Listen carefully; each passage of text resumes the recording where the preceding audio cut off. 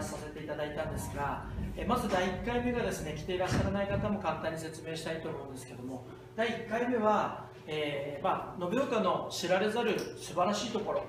みたいなものを、えー、お話をさせていただきました、えー、皆さんに共感いただいたりあのあそういうところもあったねみたいな感じであの延岡の本当知られざるみたいなところを知っていただいて、え喜んでいただきました。第2回目はですね東九州自動車道せっかく抜けましたのでそれを有効に活用して延岡を元気にするにはということでやはりあの延岡を観光を産業化させて観光で今まで浅い瀬に頼ってたり浅い瀬で成り立ってた町の失われた部分を観光で補おうみたいなお話をさせていただいてで最後の締めでですねえー、じゃあ自分たちが何ができるのかっていうところで、えー、延岡のために私たちができることはというタイトルでお話をしていきたいと思います。で今日お話しする内容もそのままです。本当に、えー、自分は、え自分ができることって何だろうって考えて今いろんな活動をしてまいりました。その紹介も兼ねてやりたいと思います。えキーワード4つぐらいありますので、えそういうのをあの見ながらでまた自分なりに何かこの延岡のためにできることっていうのをまた、え、もうすでにやられてる方もたくさんいらっしゃると思うんですけどそこのまた気づきになればあの自分の今日の応援のゴールになるのかなというふうに思っております。であの、今日はですね、えー、延岡の観光協会の副会長という立場を一番強く出して、え皆さんにはいろんなお話をしていきたいなというふうに思っております。じゃああの早速いきたいと思うんですが、えー、私たちにできることはということでまずキーワードの1個目ですね、えー、市民の意識改革。これを僕はしていくべきだと思ってますしもし皆さんも今日のお話を聞いてあそうかもしれないとか今までってこうだったかもしれないっていうのがあった時にちょっとこう意識を変えてこの延岡を見たりこの延岡のために何ができることっていうふうに考えてもらえればなと思います、えー、写真見てもらったら皆さんもご存知の大人気の、えー、観光地です。もう知ってますかね、えー、京都ですね。京都。で沖縄。で、えー、北海道。大阪ですね、えー、僕も大好きな場所なんですけどもどうでしょう？写真見るだけでなんか行きたくなりますよね。はい。で この大人気の観光地っていうのをもう一回皆さん改めて行ったことある人もいると思うんですけど2回目その中で行きたくなる街でもありますよね。なぜなんでしょうか？なぜなんでしょうか？これは一級の観光資源があるからだけじゃないはずなんですよね。清水寺があったらじゃあ行くのかっていうことです。清水寺がだけが良かったら2回目も絶対行くのかと。そうじゃないんですよね。多分そこの町の文化であったりとか、えー、食だったりとかそこで出会う人たちであったりだとかそこで自分たちを案内してくれる人のおもてなしであったりだとか何かそこに共感したり感動したりすることが1個だけじゃなくて2個3個4個って続くところだからだと思います。これを僕なりに、えー、まとめてみました。はい。僕はあの世界の20カ国以上潜りました、えー、行った国で言ったら27カ国行きました。はい。世界中の観光地も回って大人気のところも行っていつもその時に僕は延岡にあってよそにないもの。よそにはあって延岡にないものを考えていつも旅行もしてますしお客さんも連れてツアーも行くんですけどそんな中でさっきの4件でいいです。4箇所でいいです。イメージしてください。そこの人たちが自分の町とか自分たちの売りになってる観光資源知らない人って少ないんですよ。京都京都といえばここやとか沖縄といえば海やとか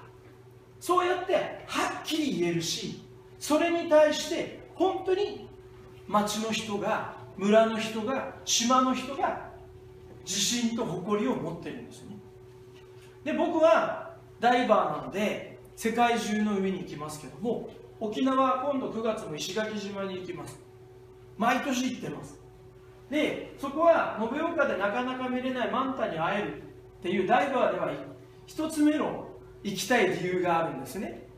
でもそこに僕たちを案内するガイドがすごく一生懸命やってくれる、えー、一人がいるんですね。それもあれになっててで 僕はさっき言った沖縄だとかいろんな世界中行きながら延岡になくてあの沖縄にあるものとしてここなんですね。僕らが石垣島に行って食べに行くよく行く、えー、沖縄そばの店があるんですよ。八重山そばのお店が。そこのおっちゃんおばちゃんっていうのも80超えてるんですね。でそのおっちゃんおばちゃんって潜ったことないんです海の中知らないですよ石垣。だけど僕たちが行くと毎年行くのに僕のことを忘れてるんですよ。おっちゃんが。でおっちゃんまた来たでって言ってもうんみたいな顔されるんですけどそのおっちゃんは必ず僕に「石垣の海やろ」ってあんた潜ったことねえやって僕は言いたくなるんだけどそれがさっき言ったここなんですよ。でじゃあ逆に延岡ってどうなのかっていうことなんですよね。延岡ここすげえぜっていう人がどれだけいるかっていうことなんですよ。この差がさっき言った4箇所の僕がいろんなとこ日本中も行きましたけど中でも大人気でやっぱここがすごいなっていう場所っていうのはみんなが北海道ええやろって。あんたここ行ったって。ここ行かないかんわって。絶対観光地の店の人じゃない人たちまでがあそこ行ったね。あそこ行くべきよって言うんですよ。そういう街にならない限り観光地を目指して産業化させるって言ってるんですけど来た時のお客様が「えー、なんで延岡来たと?」ってこんなとこ来ても何もねえやろっていう人たちばっかりだと来た人ががっかりしちゃうんですね。でこういうエピソードもあったんですね。僕が、えー、東京からダイバーさんを、えー、宣伝してその人が引っかかって初めて延岡に来た時、えー、僕は大概あの延岡の美味しいとこも紹介します。お連れします。ただその時が僕がどうしても会議とかで行けなかったお客様がいてじゃあ駅前のホテルに泊まられたお客様で自分で行きますよと、うん、じゃあもう今日は気にしないでくださいと。明日風さん付き合ってくださいって言われてで次の日はもちろん行ったんですけど初日に行く時に自分で見つけて自分でホテルの近くに行ったお店なんですけどそのお店の店主が、えー、初めてそのお店に来た人です。延岡から初めて来た人ですから。そのお客様にその店主が言った一言。お兄ちゃん何しに延岡来たのかと。仕事かと。あ仕事じゃありませんって言ったらはあ？みたいな。うん。僕ダイビングしに来ました。って言ったらそのおっちゃんもちろん僕のことも知らないしダイビングできるってことも知らなかったわけですよね。でも普通の商売人であったら僕だったらですよえー、そうなの？って。僕はダイビング延岡でできること知らなかったけど、えせっかく延岡来たねって。じゃあこんなものもちょっとサービスでサザエ1個でも出すよって。その1個が2回目また来年来た時に自分の店に来てくれるかもしれないっていうおもてなしだと僕は思ってるんですけどもその店主の人これが皆さんにも多分分かりやすいと思うんですけど延岡人の間違ったおもてなしの一言で延岡なんもねえのにダイビングで来るんだったら日南のがいいんじゃねえの鹿児島のが絶対いいはずって言っちゃってるんですよ。その人が何も努力しないで僕が連れてきたお客様ですよね。一銭もお金も出してない営業経費も何も使ってなくてたまたま運よく来たお客様に対しての間違ったおもてなしです。でもこれは一件だけじゃないんですよね。だから延岡っていうところの町にまだまだ飲食店でさえも商売されてる人であったとしてもここを間違えてる、うん、だから自分が言ってるやっぱりこの町の素晴らしいところを知らないと僕はダメなんじゃないかなって思ってるしこの町の人たちがこの町を好きでそれを本当に自信満々で俺の町に来いよって言えるような町にならない限りは絶対僕は観光地としてさっきの4箇所のような存在には程遠いんじゃないかなっていうふうに思っています。で大切な観光資源っていうのをさっきの4件っていうのはみんな分かっている。そしてそこに流れている文化だとか歴史だとかそういうものを守り続けてるんですね。一生懸命。でも前の説明前のある時も紹介しましたけど延岡に日本一のサンゴがあっても守る人がいなかったわけですよね。僕たち大前以外日本一ですよ。海の中っていうだけで守ろうとしてこなかったっていうのはこの延岡なんです。でもそれっていうのは他のものも一緒だと思うんですよ。ね。えー、滝技能っていうのが今始まりました。あ始まってももうこんだけの歴史があって人気になってますけども。天下一っていう称号をもらってるお面だったり谷中基地の、えーえっと、九州の国立あの博物館に飾るようなものを飾る場所が延岡にはないんです。あったら延岡に飾って延岡に来てもらえるものをこの町はそれを準備してないんですよね。だから大切な観光資源があってもそれを守るっていうことはまだまだこの延岡はまだ薄いんだと僕は思っています。あと新しい文化をその町の人たちはさらに作り続けていくんですよね。清水寺があったらみんな行くんだけど紅葉の時期にさっきの写真みたいにライトアップするんですよ。ただ2回目行きたくなりますよね。この努力が、ね、どもう本当にこうやって貪欲に貪欲に人を集め続けていくんです。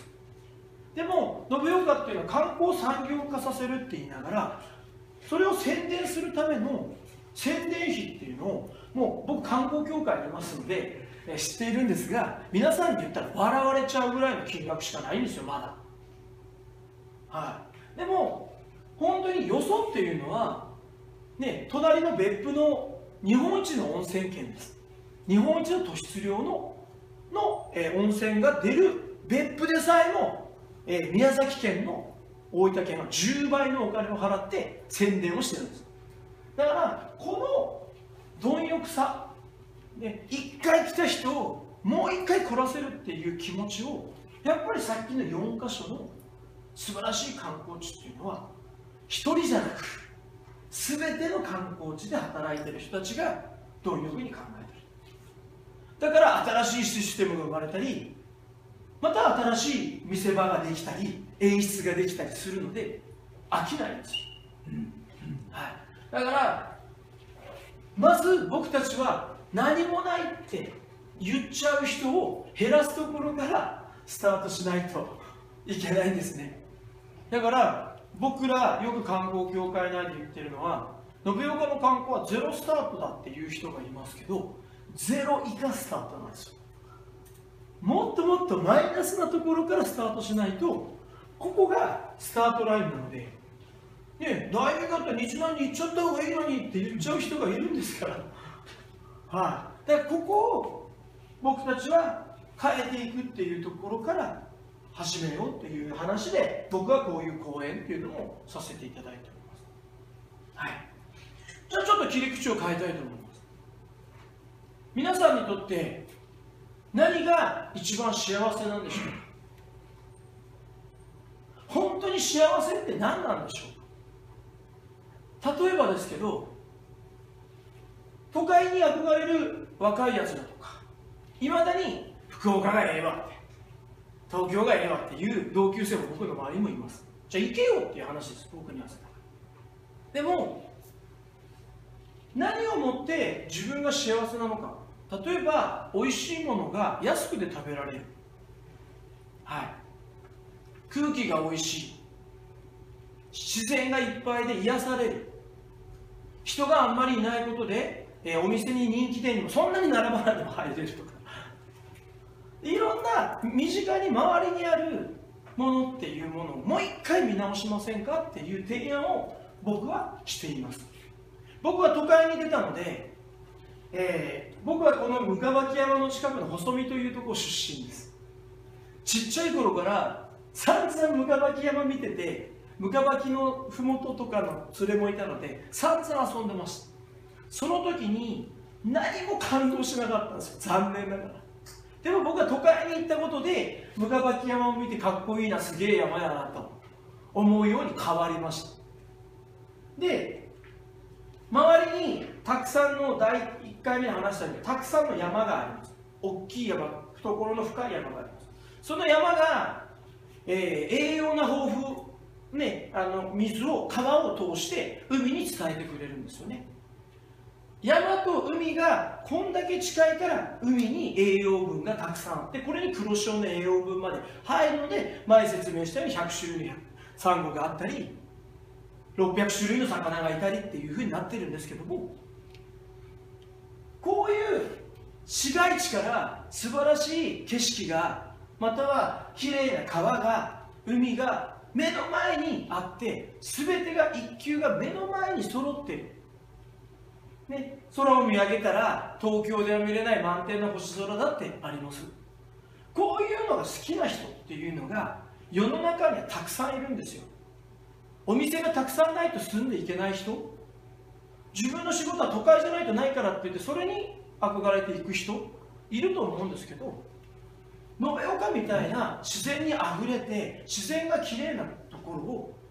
好む人も当然いるわけです。僕はだから延岡に帰ってきたんですね。で当然山海川一流のフィールドが揃ってるからこれに空まで入れて山海川空のアウトドアの一級が揃ってるのが延岡だからアウトドア派にはたまらないわけですよね。前も話しました。浅井化成だとか転勤族が延岡に来たら残念ってよく言われたそうです。外れって。だけど来た人でアウトドア派はもうあそこから離れたくないっていう人がいるわけですよね。でこの30分で綺麗な海があってサンゴが見れるところ。綺麗なこんだけのさっきの川があるところっていうのは全国探してもないんですよ。山海川空が一級が揃ってるとこ全国って延岡しかないんですよ。だからこれをもって幸せって言っちゃいけないのかなって。こういうのが好きな人にとってはアウトドア天国じゃないですかと。で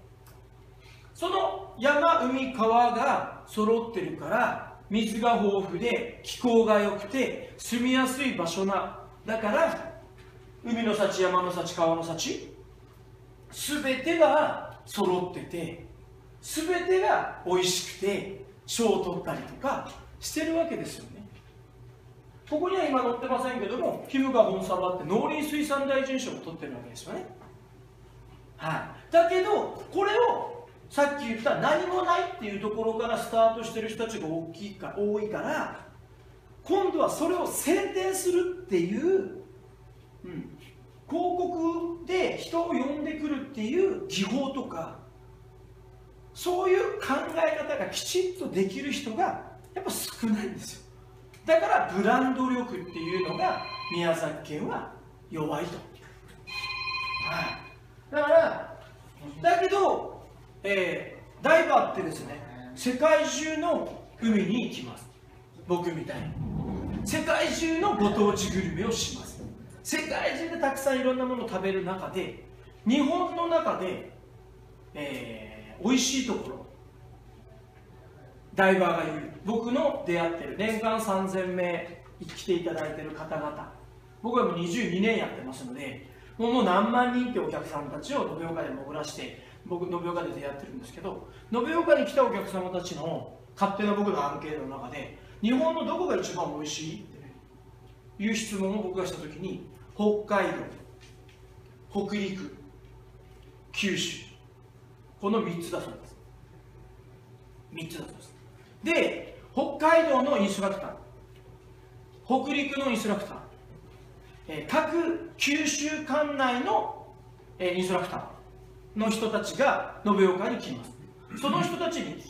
が来て僕に言うのは北海道とか北陸は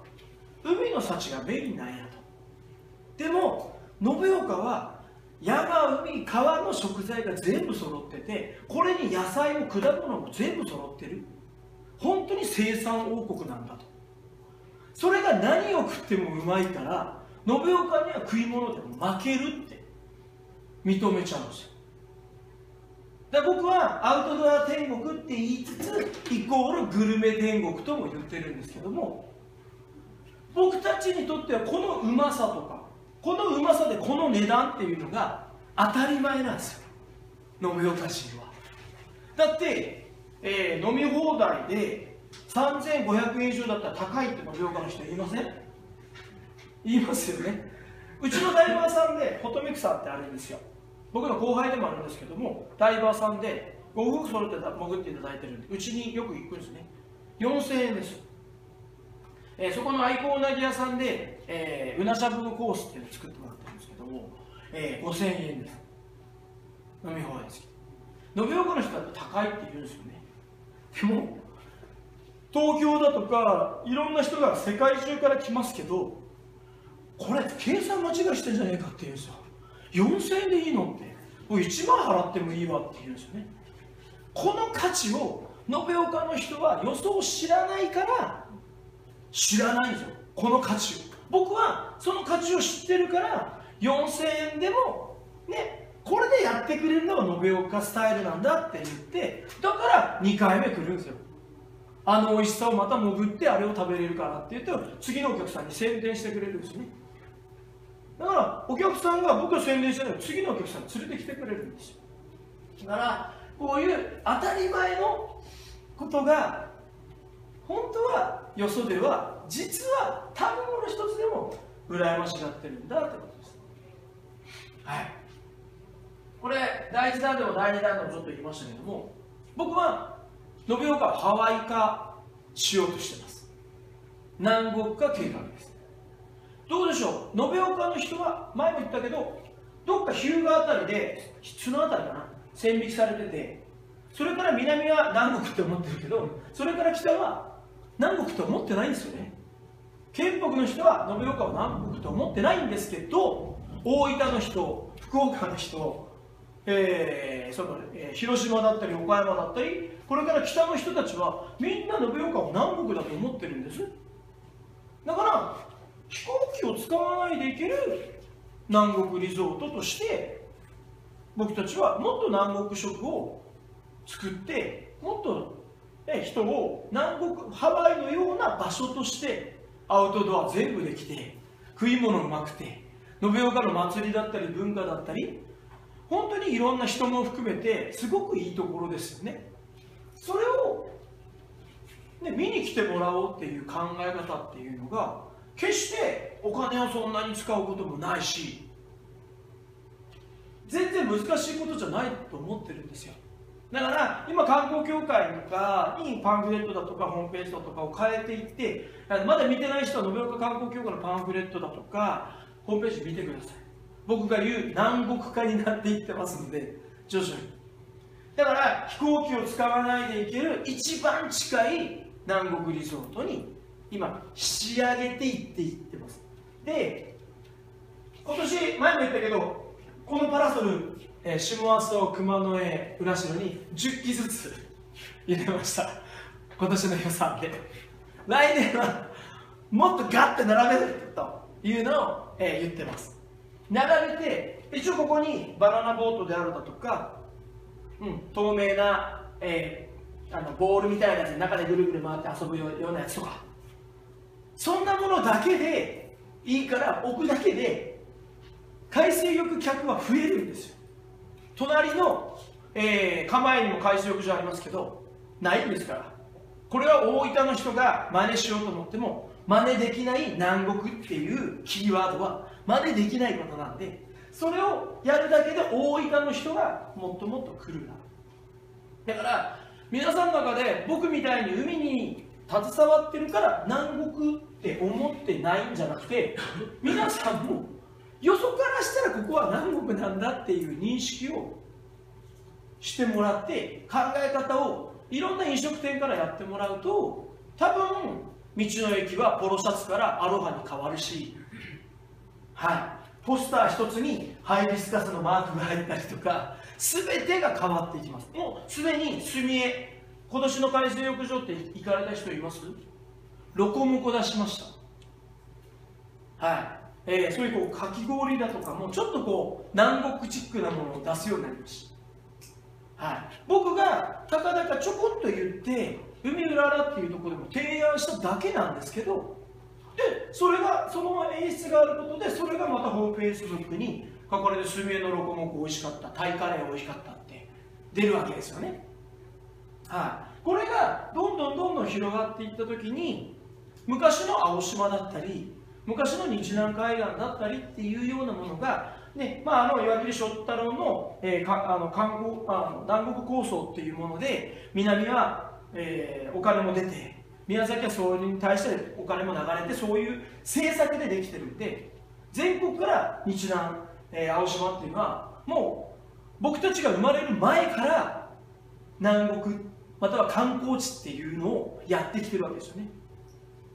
僕たちの延岡は観光を始めてないんですよまだ。もう何十年も遅れてるんですけども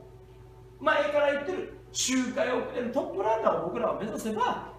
いいじゃんって。別に日南と共通する必要もないし沖縄とする必要も僕はないんだと思ってます。延岡ならでは。しかも大分の人をターゲットに一番近い南国リゾートですって言ったらわざわざ日南に行かんで延岡にこんなとこがあればわざわざ青島まで行かないですよ。だからここで食い止めるっていうところを考えるっていう努力をにつながるんじゃないかなっていうふうに思ってます。はい。でこれは第一弾の時とか第二弾でもお話ししましたけどもう一回おさらいなんですけど総合点では延岡はどこにも負けてないです。僕はそう思ってます。世界中見てきてそう思ってます。でさっき言った市街地から30分で山海川空全部あって一級が揃っててハワイに負けないアウトドア天国山海川の海のあの幸が揃ってるグルメ天国、えー、さっき言った北陸北海道のやつらまでが認める九州こんなに美味しいものありながら九州の福岡だとかいろんな人たちが延岡全てが美味しいって認めるグルメ天国。あと日本一のサンゴがあったり日本一の弘法大師があったり市民力がすごかったりいろんな、ね、唯一のものがたくさんあるんですよね。この町に来ないと見れないもの出会えないものもたくさんあります。あと前も話しましたけど九州中央道が抜けたらもう東九州自動車道がもう通るのが決まりましたからあとはこの中央道ができたら福岡から2時間半で延岡に来れる時代が来ます。今大分周りで来るのでもやっぱ3時間から、まあ、3時間半ぐらい。2時間半になったらさっき僕が話した一番近い南国福岡からの一番近い南国リゾートになるんですよ。熊の実だったりサンゴだったり見るのに今福岡の人は4時間かかってるんですね。4時間です。下手したら5時間かかってる。これが2時間半で見れる場所。しかも高速で簡単に行ける場所に変わるんです。しかも延岡を拠点にして1時間半っていうコンパスをグリッてやったらこう九州中央道が抜けたら熊本市内まで入っちゃうんですよね。はい。阿蘇が入って高千穂が入って埼玉も入って宮崎青島も入ってで大分も原汁の滝も湯布院とかまでも入ってしまいますよね。そうやって考えた時によそから来る時に、えー、九州旅行で来るんですよね。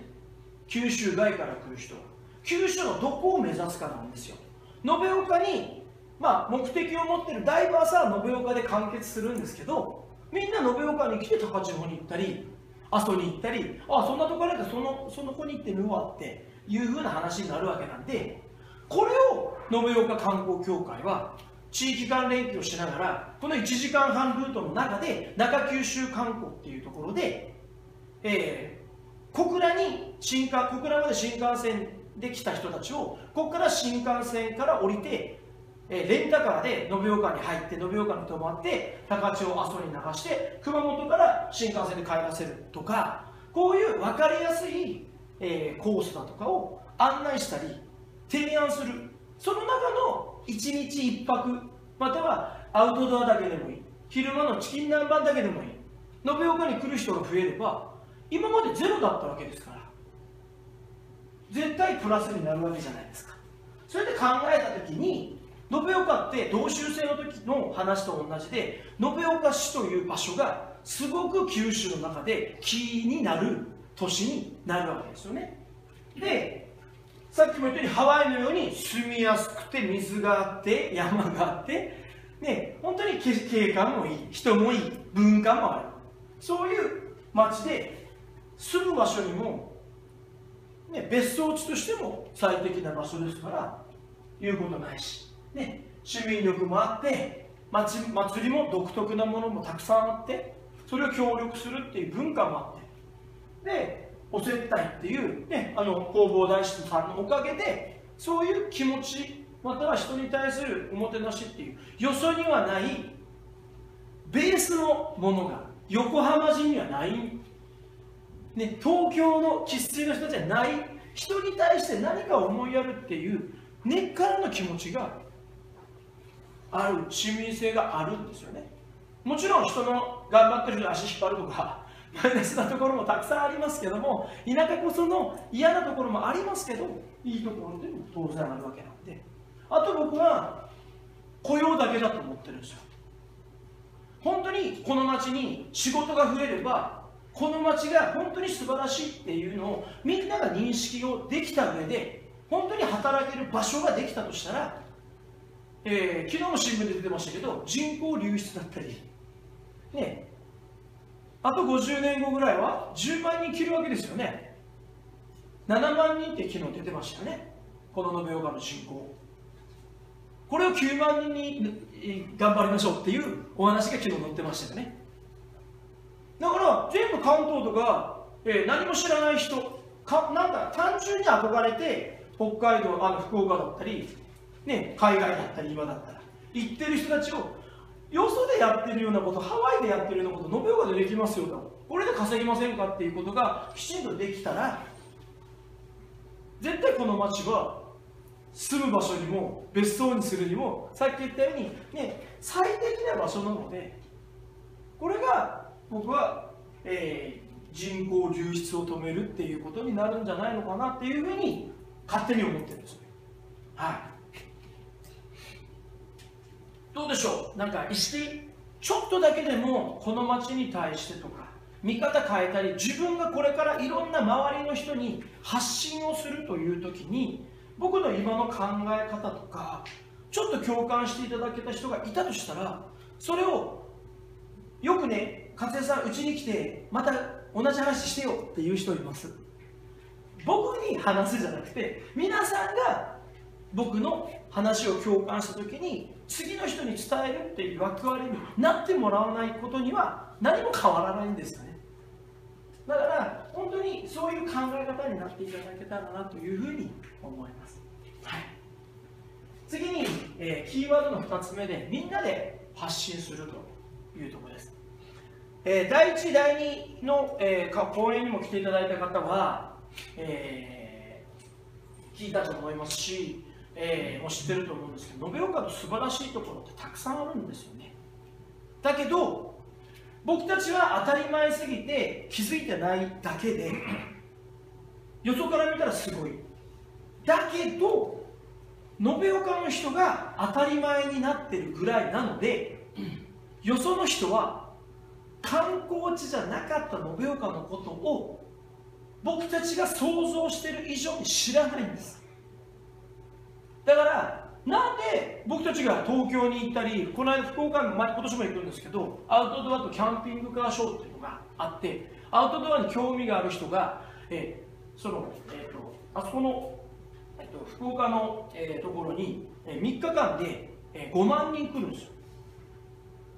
えー、魚釣りであればメジナ釣りに対してはそのための餌を持ってそのための釣り竿を持ってそのための仕掛けを釣って釣るじゃないですか。それと同じでアウトドアに興味がある人のところにが集まる5万人集まるところに僕たちは行くんですよ。そしたら延岡にこんなとこあるのっていうのが第一声です。はい。福岡であったもあってもですよ。これだけアウトドア派が集まるのにもかかわらず延岡のことを知らないんですよ。これが関東とか関西とか。もっともっと北の人なんかはもっともっと知らないんですよ。で今僕たちは全国展開をするようなダイビング雑誌であるだとか僕あの、えー、ずっとあの NHK の全国ラジオのレギュラーでも出させてもらってたりとかいろんなところであの、まあ、テレビだったりラジオだったりいろんなところでも発信させてもらってたので、えー、結構あの聞いたよって言って僕たちが発信したり僕たちが宣伝をしたものに引っかかって来てくださる方がたくさん僕たちアウトドア派にはたくさんいるんですね。でもさっき言ったグルメのことも全然私まだ知らない人たちもたくさんいるんでこれを今やってる人やっていない人たち、うんえー、延岡のことをもっともっと宣伝しようという意識を持ってやってない人たちがやることが意味があるだって僕はやってるんですもう僕の伝えてる人僕はあの Facebook ってこちらから申請をしないで、まあ、言われた人だけしか申請僕はリクあのリクエストこっちからあげないので承認制だけにしてるんでそれで1400人。その1400人の人には僕の発信は毎回伝わるんですよね。僕みたいに延岡大好きで延岡すごいって分かってる人間が発信するけど Facebook を使ったとしてもたかだか全部に言っても1400人です。言い方変えたら。でも皆さんにもそれぞれ Facebook やってる人たちね、LINE やってたり、 mixi やってたり、ね、YouTube、いろんなものを使って、延岡のここすごくないとか、延岡のこれめっちゃ美味しいけど、この料金ってどう？みたいな。うん、大分から40分でここに来れますとか。1時間、ね、大分インターから1時間10分で延岡まで来れます。そしたら本物のチキン南蛮食べれますとか。チキン南蛮の写真持ってバンって発信する延岡人が今頑張ってる人以上にもっともっと一般の方とか今までそうやって意識を持ってやらなかった人が増えたとしたらもっともっと延岡の素晴らしさはお金をかけずに広がるんですよね。だからなんか、えー、よく僕はこういう講演をするときにまた前回もお話したんですけど、えー、大分に行くの悪いって言ってません。大分の温泉よかったよって。それ書くのも悪いって言いません。でも延岡の美人の湯って温泉があります。行ったことないんやったら延岡の温泉一回入ってみて延岡の温泉すっごく泉質もいいしこのここから見える大久屋の景色めちゃくちゃいいですよっていう発信を同じ回数してくれればこの町もっともっと有名になってあなんかすごくなんかこの町興味あるよねとか引っかかる人が絶対増えるんだと思うんですよね。だからもしその人にとって得意分野だったり発信の仕方っていうのは別にソーシャルネットワークだけじゃないんだと思います。はい。だから、こういうところも含めて考えてもらうといいのかなと。はい。で、これ僕の、えー、観光大使の盾なんですね。観光協会からいただきました。僕、観光協会観光大使いただいて副会長ですけど、役員手当も一切もらってないので、僕は観光協会からもらったのはこれだけです。でも延岡観光に対して一生懸命やってますけど実は観光大使って僕は本当は第1号になる予定だったんですね。ちょっと戦略があって僕は第2号になったんですけど、まあ、これはいいんですが、えっと、僕は年間に3000人連れてきてるからダイバーを。でそのダイバーの25%がちゃんとホテルに泊まってくれさるんでね。60%以上はリピーターになってくださってるので確実に延岡の好きなところを見つけながら延岡ファンになってくださってその人がまた次の人を紹介してくれるお客さんになってくれてます。60%でこの人たちが延岡のグルメ僕が紹介するので、えー、お土産お弁当いろんなものが動くので経済効果が高い。しかも年間3000人をもう11年目続けてるんでこの観光大使をいただきました。で延岡観光協会は今延岡観光大使をいっぱい作ろうとしています。東京にも大阪にももっともっと東京には10人ぐらいいてもいいよねと。でさっきのお話聞いたんで、ね、あの中尾祐介とかもなるべきだと僕は思ってまして延岡のことをちゃんと愛着持って延岡のことをたあの宣伝をしてくださってる方々を延岡観光協会は観光大使にするつもりも覚悟も戦略もあるということです。ただ観光大使っていう言葉だけでこうひるむ人がたくさんいるんですけど上り猿大使っていうのを作ったんですね。さらに。これはその人の分野で連れてくる。今、え、匿名大使とか上り猿大使っていう言葉で今、えー、先行して動いてるんですけども、えー、例えば銀行関係。遅延とかがたくさんありますよね。転勤族だからそこの人たちを年間に延岡で慰安会するとか慰安旅行させるとか。そうやってそのその分野だけでいいからって、えー、今来てらっしゃる方ってあの、えー、南九州のダスキンの方々を延岡の方がダスキンの人たちを連れてきたりとか。であとはダスキンの特命大使ですとか。上り猿大使ですとかって言ってそういうのも渡しています。だから僕はこれだけやってるよってこれだけの人連れてくるよっていうのをどんどんどんどん延岡観光協会に実際やってらっしゃるっていう方がいらっしゃったらぜひ情報とか自他でもいいので推薦とか含めてください。そういう人たちを僕たちは本当にもっともっと表に出したいなと。僕もそうやって、えー、観光大使みたいな形であれしたのでただ勘違いしないでください。観光大使も登り立て大使も。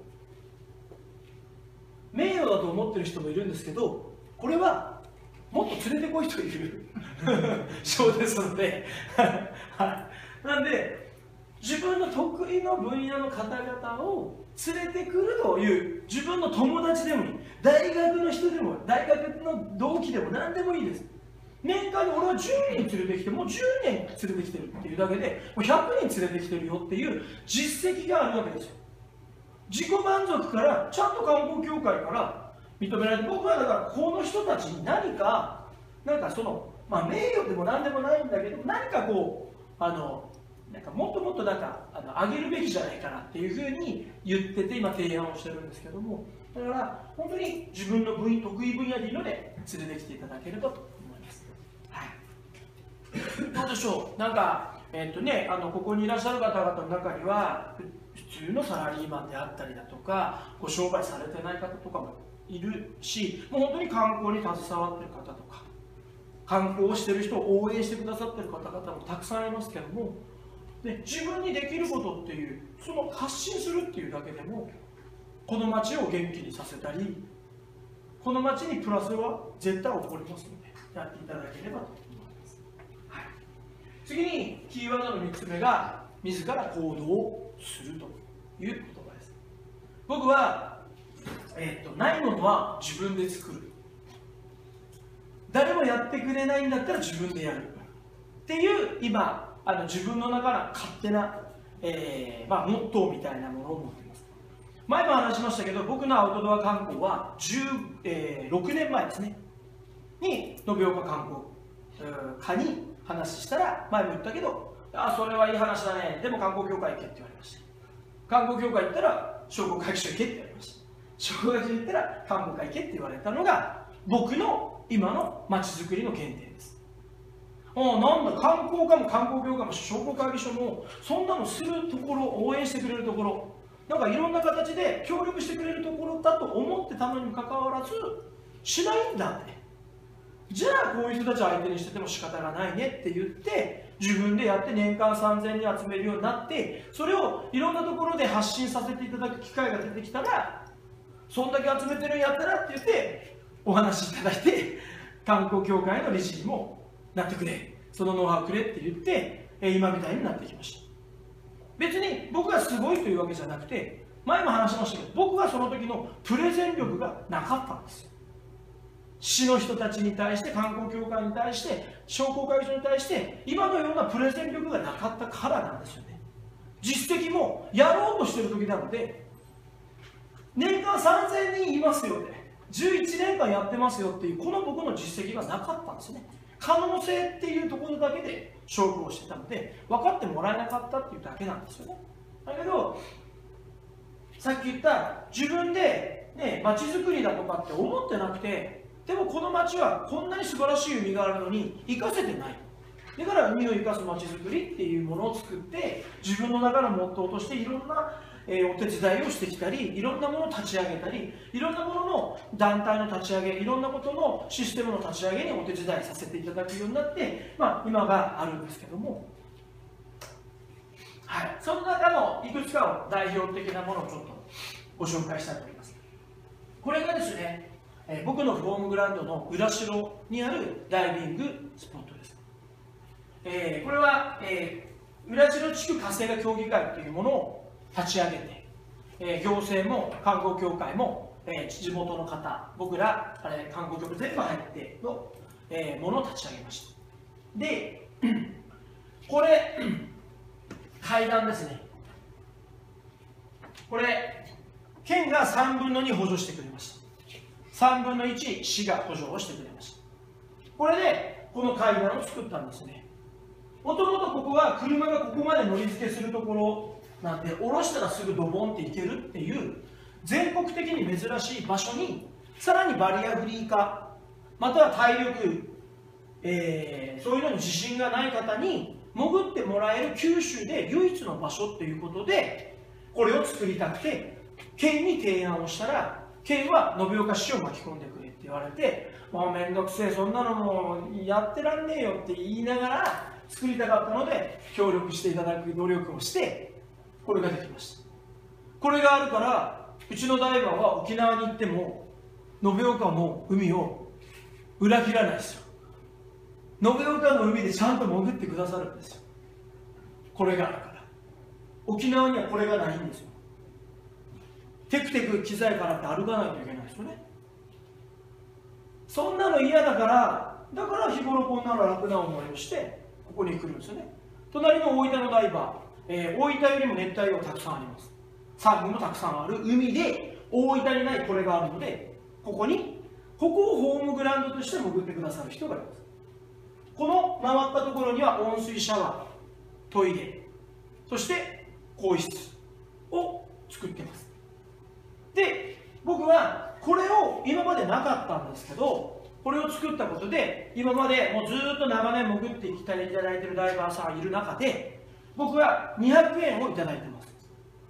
施設使用協力金っていう名前でいただいてこれの管理維持だったりとか、えー、まああの、えー、まあ、その200円の内訳って100円が漁協に100円が国。何もしなくても漁協と国30万ずつ入るんですよね。ダイバーはこれがあるから延岡に来るからダイビングショップは良くてダイバーは喜ぶ。地元の方々は何もしなくても金が入るからダイバーに対してウェルカムなんですよね。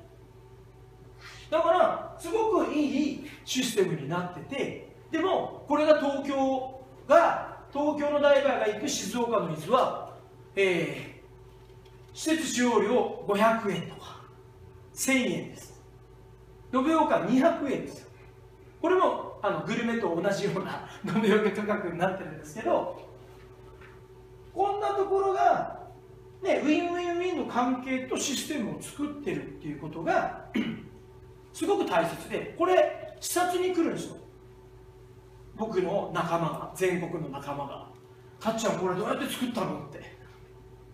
難しいことなので行政を動かすっていうのが。これに今年えー、団体を呼ぶためにえー、トイレシャワー1個ずつしかないので、はい、それじゃ足らんって。って言って、えー、プレゼンをしてやって、えー、今年市がトイレとシャワー更衣室増やしてくれるように決まりました、はい、だからこれでまた地元に落ちるお金が40万ずつ50万ずつって増えていくわけですよね。これが僕が目指してる自分だけ稼ぐと田舎の人はお前ばっかりって言って足引っ張るけど僕が頑張って何もしなくてお金が入ったらおお前やれやれってお前もっと前でみたいに言ってくれるんですよね。そういう使い方になっているシステムです。あと日深カード体験ワールドという、えー、僕が理事長をやってるアウトドアの NPO です。はい。これは、えー、前前も紹介しましたけどダイバーさんが、えー、カヌーやりたいんだけどかっちゃんインストラクター知らないって言われたところからスタートです。アウトドアの僕でさえも延岡でカヌーインストラクター伝えることがつなげることができなかったんですよ。これを延岡ってそういえば山海側全部揃ってるじゃんかと。海だけで勝負しても沖縄で勝てへん。でも一級の山と海と川が揃ってるのは全国で珍しいから。3つ揃ってる、ね、一級が揃ってる。すごい町なんだっていうことを宣伝できるし、えー、延岡マリンしかダイビングショップ1軒しかないので行政は延岡マリンに予算投与することができないんですね。はい。これは行政的にできないんです。だからさっき言った浦城活性が協議会。えー、優雅感動体験ワールド。こうやって集合体じゃないとなかなか予算も投与できないです。自分で何かやろうと思ってる人がいたらこの感覚というか行政が動けないっていう性格性質も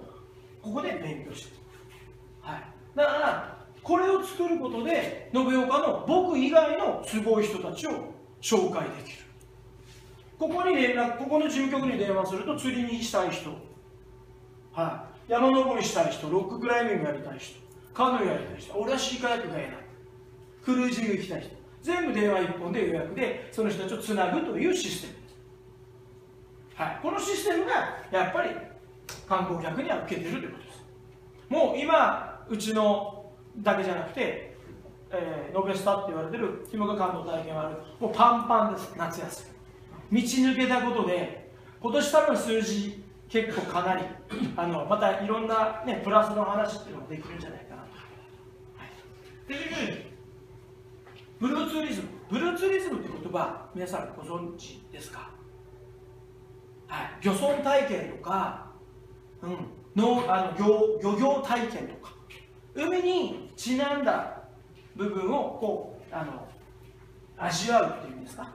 そういう観光メニューです。もともと僕がこれを手掛ける前から実は観光協会っていうのは北浦とかそういうところでやってたんですよね。で商工会議所が、え、今の延泊の走りの時に浦城とトトロとこのこの漁業体験を始めました。ここにこうなんかちょっとこう観光協会とその当時商工会議所とのこうあれがあってなんで北浦やんねえのみたいな俺らからするとですね。だから俺は3つやらないといけなくなったんですよね。このブルーツリズムって。でも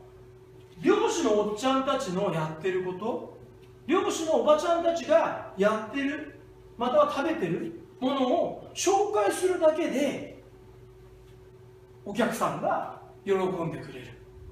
っていうものを商品化するんですね。揚げたての揚げになって誰が食ってもうまいでしょうね。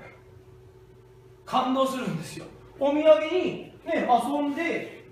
えー、それこそあの味の開きの干し物体験とかやって数時間干させてお土産で持って帰らせるんですよね。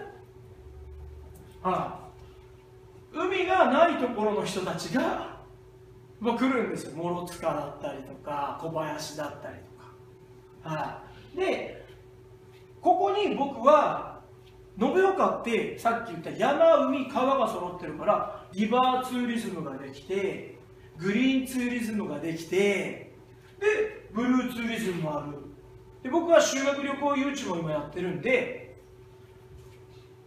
学校の先生たちに延岡の修学旅行を売り込むのに延岡はアウトドアも山海川ありますよと。はい。ツーリズムもう3つありますよ。それぞれできますよ。300人来てもこれを時間差で回すことができるんでどうですかって。あとは200人以上泊まる宿泊施設を誰かが作ってくれるの僕は待ってるだけなんですけどこれが終われ作れれば修学旅行だったり団体誘致ってもっともっとできると思ってます、はい、ただ学校の先生たちもいらっしゃるんであれなんですが覚えててほしいのは修学旅行僕は2年前から活動してるけどまだまだ延岡本気で動いてないんですけど本気で動き始めて修学旅行誘致には3年かかるんですよ。3年です。今動いてても3年後にしか来ないんですよね、はい、で僕は今実際に今日南の方に、えー、ダイビングとかシュノーケリング体験とかサーフィン体験とか波旅プロジェクトで呼んでる人たちを宮崎県のスキューバダイビングの団体作っててそこにショップが加盟しててそれに延岡から応援に行ってます。はい。実際にも修学旅行を宮崎県内で僕もお手伝いしながらやってて延岡に全然誘致するのはその足りない部分補えばできるんだと思ってます。はい。でさっき僕が言いました地域愛です。はい。みんな地域愛がないわけじゃない。何もないって言った方が相手にいいっていうふうに思ってるという勘違いなだけです。はい。だけど、地域愛というのは、延岡やっぱすげえな、こんなとこいいなっていうふうに思ってもらわないと、次の第一歩にならないんだと思います。延岡すげえだろうとか、このすごいのも見に来いよっていうふうになれないんだと思ってます。だから僕はお金もらうもらわない。公演の料金関係なくその公演ってどういう内容なんですかと。どういう趣旨でどういうコンセプトでやるんですかっていうのをお聞きしてそれで僕は極力行くようにしてます。学校関係も行くしこの給放題ももちろんもうあの日向国理論っていうのがあって90分間、えー、給放題の中で一コマしゃべるんですけどもう5年目あ6年目なんですけどはい、年々去年120人ぐらい、えー、1年生が、えー、それ選択なんですけどね。選んでくれるようになって。その時だけちょっとなんか先生 僕なってちょっとねあのいろんな話するんですけど、はい、この公演っていうのは僕は今言ったこの地域愛を気づいてもらう勘違いをちょっとこう意識改革してもらうための立場だと思ってて講演活動をしているようなんです。今観光協会は、えー、出張講座っていう名前で谷平さんが花物語だったり延岡の祭りであったりみこしであったり延岡の全体のお話をします。僕はアウトドア観光。で、まあ、あとグルメとかもちょっと合わせて言うのでであと久喜さんっていう人が理事でありまして、えー、久喜さんが歴史だとか神話の話ができるようになってます今講師が、まあ、差し当たってすぐに3人も動いて実際に実績を積んでいる者がいるのでこの人たちに延岡のさっき言った歴史神話だったりグルメだったり延岡の祭りだったりこの延岡ってどうよっていうのがみんなにそうやって気づきを伝えるための講座が無料でやることが始まりました。だから皆さんの環境の中あのの中であじゃあじゃあ活用の話こんな聞かせたいとか谷平さんの話聞かせたいなっていうのはもう喜んでいく、うん、そういうふうに今も変わってますので、はい、あのご依頼を観光協会してください、はい、あと子供たちに僕は学校関係。昨日は中学生島野浦の中学生を連れて行ってきました。本当は今日小学生校を連れて行く予定だったんですけど台風で今日中止で延期になりましたけども毎年やってて今年で5年目です。でも皆さんも知らなかったように実は島の子たちが島の人たちが島の浦の周りに日本一のサンゴがあることを知らずに100種類のサンゴがあってそれで人が呼べるってことさえも知らないのを僕たちは一緒に守ってもらうために自分の村とか島を誇りに思ってもらうためにお金もらうもらわない、ね、ボランティアも含めてたくさんなってきて、はい、今日は海行けなかったんでうちの娘たちの中学校の友達を連れて北側の川に連れて行ってシュノーケリングさせてどうやこの川ってお前家から水着着て行ってね20分でこんなとこは全国ねえんだぜお前たちって言って。で帰りアイス食べながら水着のまま帰ってくるんですよね。都会じゃありえへんよって言ってその価値を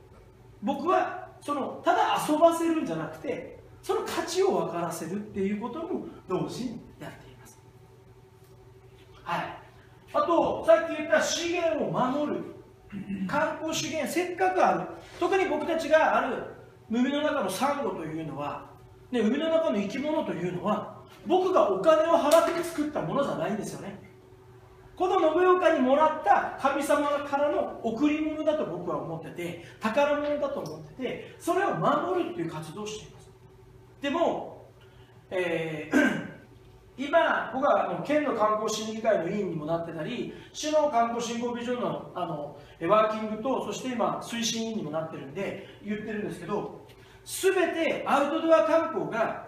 えー、多い、宮崎県も市もやるって言ってるんですけど、これやるんだったら、まず守るということ、保護をするということから始めてくれと、条例作りやってくれと、そういうことも含めて言ってます。ただ単に自分が捨てたゴミじゃないものを僕たちがゴミを拾うだけでは何も変わらないんですよ。捨てる人を減らす。捨てる人を見かけたら注意する人をこの町が作らない限り全国から来る時代になるんですよね。今も、えー、Facebook で僕らの仲間が出てるんですけど山海川の僕らの仲間が嘆いている。今まで来なかった人が道が抜けたことで来始めてるんですね。その人たちは自分のルールで勝手に川山海で物を燃やすんですよ。ビニールだったり空き缶だったり全てを燃やしてそのままです。持ってきたキャンプ用品の、えー、網焼いた焼肉の網をそのまま捨てて帰るんですよね。こういうのが増えるんですよ。観光っていうのは僕は散々推進はするけどこの守るっていうことをやらない限りマイナスとかそういうものがどんどんどんどん出てくるわけですよね。資源がなくなったら悲しいからお客様は蜘蛛の子散らしたようにいなくなるんですよ。だから資源を残すっていうことをルール作りだったり保護活動だったり。だから僕は条例で僕延岡に山川海のレンジャーを作ってくれってグリーンベレーみたいな人作ってくれって今僕は自然環境保護員って言って、えーえー、自然公園の、えー、国から認められた指導員なんですよ。でも何の権限もないです。はい。何の、えー、抑制が、まあ、注意はできます。でもその人を捕まえたりとか罰金取るとかもないので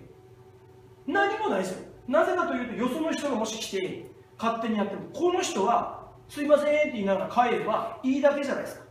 でも残されてるものなくなったものはね本当に壊されたりなくなった後は帰ってこないですよ。で沖縄のサンゴと延岡のサンゴ。同じサンゴもありますけど、えー、水温の違いで沖縄のサンゴは中年で元に戻ります。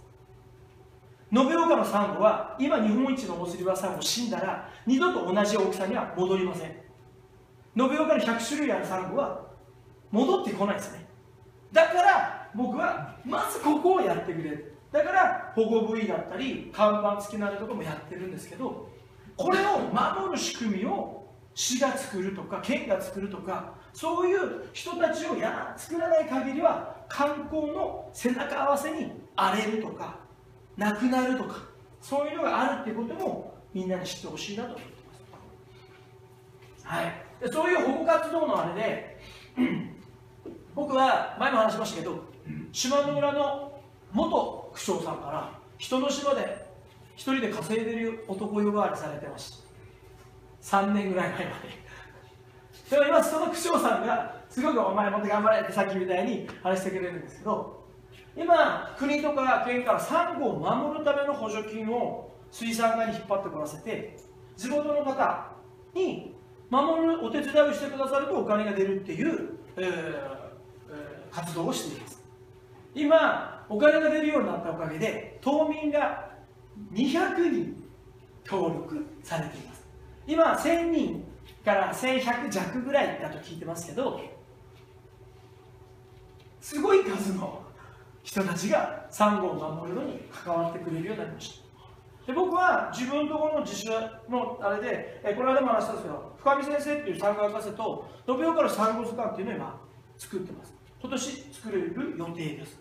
これをまた、えー、島の浦だったり延岡市だったとかにまた寄贈するつもりなんですけどもこれもさっき言った一緒に守るだったり地域愛を生ませるための活動にきっとなるんだと思っています。僕たちダイバーだけがやっても意味がないんですね。だって四六時中そこを見れるのは地元の人たちなので、はい、もちろん市長にも潜っていただきました。はい。これはあの市長の息子さんなんですけどね。これ1期目の時のあれなんですけどだから今アウトドア観光っていうのも市長もすごく応援してくださってたりするんですけど僕らがやってきてる活動っていうのを、ね、自分たちが儲かればいいっていうことだけじゃなくて要は5年後とか10年後っていう話じゃなくて今のこの延岡の50年後100年後っていうのをどれだけ見据えて今やってるか。その50年後100年後に対して何をすべきなのか今何をやるべきなのかっていうのを僕は気づいたものをやるようにしてるんですね。これが結果的に文化になったり先ほど言った作るということにきっとなるんだと思いますだって延岡には今までアウトドア天国って言葉は僕たちの間ではあったけど一般市民に広がったのはここ数年ですよ。でも今これが延岡の観光の一番大きくて実績を持ってる実績がある一番の人を集めてるっていうものに変わってるので、はい、だからさっき言った自分は自ら動くということでまあ、これ以外にもたくさんありますけど海を生かしたまちづくりというまちづくり活動だけで、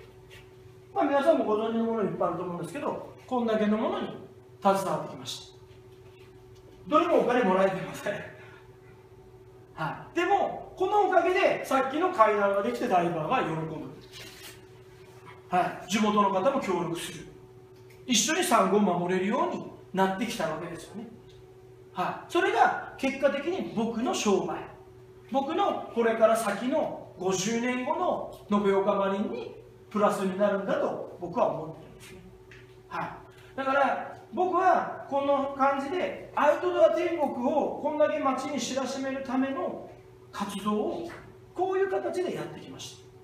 皆さんが今やってる活動とかこの街のためにやってることもきっとたくさんあると思いますけどそれが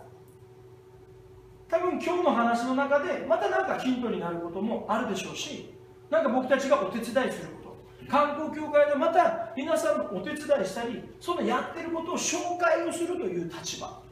にありますのでそういうものをまたどんどんどんどん観光協会に言っていただけると、えー、また一つワンステップ上になんか足踏みしてる人がもしいたらワンステップ上に行けるんじゃないかなというふうに思いますので。言ってください。はい、でいわゆる最後4つ目なんですけど最高のおもてなしというものです。で もうこれは皆さんも分かると思うんですけど僕が思ってるおもてなしっていうのは安くすることじゃないです。何もないねって自分たちをへりくだって言う必要とかも何もないんです。それはおもてなしではないです。僕は簡単に言って延岡でしか味わえないもの延岡でならではのものを紹介する。それを気持ちを込めてせっかくの病家まで足を運んでくれた人に2回目来てくれるためのおもてなしの心でやるだけで十分にいいのかなと思っています。でここに昨日もちょっと6時間の勉強会に明治に参加してたんですけどもそこに出てたんですけどそこでも本当同じことをお話しされてたんですけど作り手さん、まあ、生産者ですね漁業者とか農業とか。この人のどんなものをどんなふうに売りたいっていうものを応援して作っても売れるかの保証はないんです。買い手に対してこの生産者のこの商品をどうつなげるかっていうのが6次化なんですよね。はい。ここを今全国各地でやろうとしてるんですけど生産王国の延岡だからこそできることがあるんだと思うんです。僕で言ったら延岡で沖縄から来た人にサンゴを見せても喜ばないですよオースリバスサンゴはないから喜ぶけど普通のサンゴを見せても喜ばないです。でも沖縄にはカエルアンコウ少なくて連天ヤッコいないのでマンボウもなかなか泳げないのでこれが沖縄でなくて延岡であるものならではのものとして紹介をしたり発信をして来た人にそれを提供する。だから自分の売りをちゃんと理解した上で僕は発信をして、えー、おもてなしの中に入れ込んでるっていうところですね。あと、まあ、今日ねうちの大学さんも来ていただいてるんですけどえっ、ー、とさっき言った100種類のサンゴがあって600種類の魚がいてマンボウと泳げて大分とか沖縄にいない魚もたくさんいるの秒間でしかも街の中から、えー、駅から、えー、20分で、えー、サンゴにも会えたりそういう素晴らしい環境が揃っている。延岡なんですがうちのお客さんが誕生日で潜るときには誕生日もお祝いします。50本目とか100本目とか150本目とか50本単位でそれぞれをお祝いします。その人がマンタでに会いたい。イルカと泳ぎたい。南の島に行きたい。いろんな夢を持っていて夢を持ってくるダイバーさんに対して延岡じゃ味わえないものをツアーとして遠征しに行きますだから今度の石垣島は地元でも潜らせながらなんですけどマンタと泳ぎたい人の夢を叶えるためのツアーとして企画してます。もちろん七夕ダイブやったりクリスマスダイブやったりもう ありとあらゆることをしながらお客様を飽きさせないようにしています。もちろん出会いの場を提供してうちのダイバー同士で結婚した人も多く、えー、キューピッド役だと言って挨拶させられることもたくさんありますしせっかく延岡美味しいもんあるからダイバーでみんなで美味しいもん囲って、えー、遊ぼうや。あとこの町はですね田舎じゃないですか。だから何かにつけて芸能人が来ただけで「へえ」って「すげえ」って言うじゃないですか。でもそれをコネクションが僕はたまたまいろんな人とコネクションを作ってきたのでプロの水中写真家を呼んでフォトセミナーっていうのをやったんですけどもうずっとやってたんです。けど1年間3回とかやってたんですけど実は九州で初めてだったんですね。はい、九州ででもプロのカメラマンって数人しかいなくてその人たちって今僕九州にいないのでで東京からの人たちを呼んだんですよね。だからこのセミナーに福岡から受けに来たりするんですけどだから誰もやってなかったけどお客さんのためにお客さんカメラやってる人がもっと上手くなりたいっていうのを僕が教えるのにも限界が来るんですよね。僕プロじゃないからもっともっと上手くなりたい人のために外部講師みたいなのを呼べる環境があるから呼んできて自分にできないことをこの人に代わりにやってもらうだけでお客様は喜ぶわけですよね。さまざまなニーズ。出会いを求めてる人。ね美味しいもの食べながらみんなとワイワイとやりたい人。ねねなんか面白いことやりたい人。うんもっともっと写真うまくなりたい人。夢を叶えたい人。そんな人に対して僕はずっと22年間後を継いで親父たちがやってなかったことも含めてやってきました。それがリピーター率60%っていう実績になったうちの実績になります、はい、ここまでが、えー、自分がやってきたこと。これからもまだまだ力を入れてやりたいこと。そしてそれが延岡にとって年間3000人来て、えー、プラスを生んでるっていうことです。この話を聞いてどうでしょう？皆さんっていうのは自分にこの延岡に対して何ができるのかっていうところを考えた時に例えばですけど頑張ってる人を応援する。お手伝いする。例えば延岡花物語っていうのをやります。それの実行委員をやられてたりとか一生懸命その、まえー、祭りを盛り上げてる人たちたくさんいるんですけどこの人たちをボランティアでお手伝いしに行く。僕もせっかく来ていただく県外の人たちも呼んでますのでその人たちのために何かお手伝いしたいっていう気持ちを持ってボランティアに参加することもねきっとそれは延岡のためだし延岡に来た人の喜ばせるっていう結果になるんだと思います。足を引っ張ったりあいつがやったら俺はやらねえわとかあいつ目立つから気に入らんとかそんなんて人の足を引っ張ってもこの町は何も生まれないです。何もないって言ってても何もプラスは生まれないんで、はい、だからじゃあじゃあもう体力もない。ね時間もない。だったらお金だけでもこの町に寄付をする、ね、こういう応援っていう仕方もきっとあるんじゃないかなっていうふうに思います。あと自分流で延岡ファンを作るっていうのもあるんじゃないのかなって思ってます。さっき言った僕発信するっていうのがありました。自分が好きな分野あると思うんですね。例えば大工をやってる人とかね例えば祭りを一生懸命やってらっしゃる方とか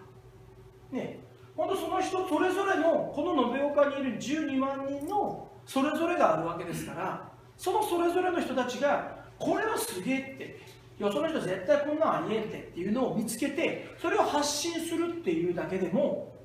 ね、これのためにおいでよとかこれを今日こんなのがあるからおいでよっていうだけでも延岡のファンを作ることができるんじゃないでしょうか。結果的に上り猿大使にもなる可能性だってありますし。はい、で 自らがリーダーになると。っていう考え方もあるんじゃないでしょうか、ね、北方を盛り上げるために北浦を盛り上げるために、ね、街中を盛り上げるためにとか、ね、駅前をも活性化させるためにとか、ね、周りで頑張ってらっしゃる方がいると思います。きっとその人とやり方が合わないとか考え方が違う人もきっといるのかもしれないです。僕もきっとそうだったのかもしれないです。だけど僕は自分流に結果的に周りにやってくれる人がいなかったので自分でリーダーになるという覚悟を決めてやりました。多分リーダーというのは多分表に出ることと裏方になることの両方ができるっていうバランス感覚がないと僕は自分でやりながら自分をリーダーって言ったらすごいおこがましいんですけど多分難しいのかなって思っています。そんな中ででもやっぱりプレゼン力っていうのを僕はインストラクターだからたまたま身につけられた技術だと思ってますけども、まあ、自分がやるってことを認めさせる。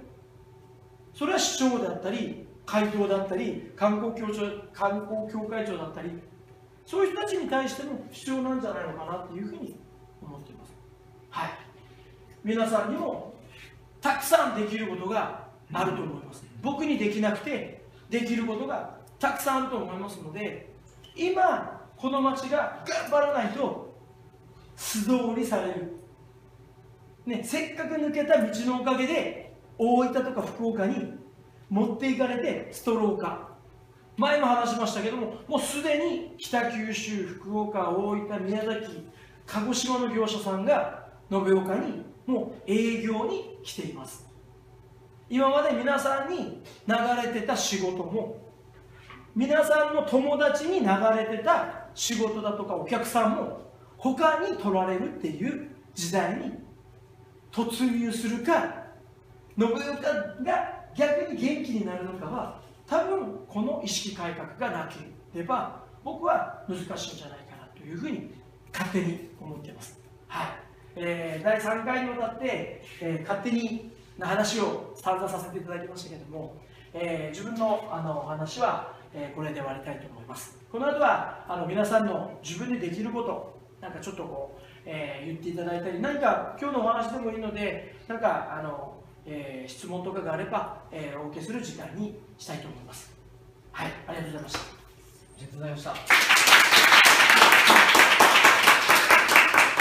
本当にありがとうございました。えー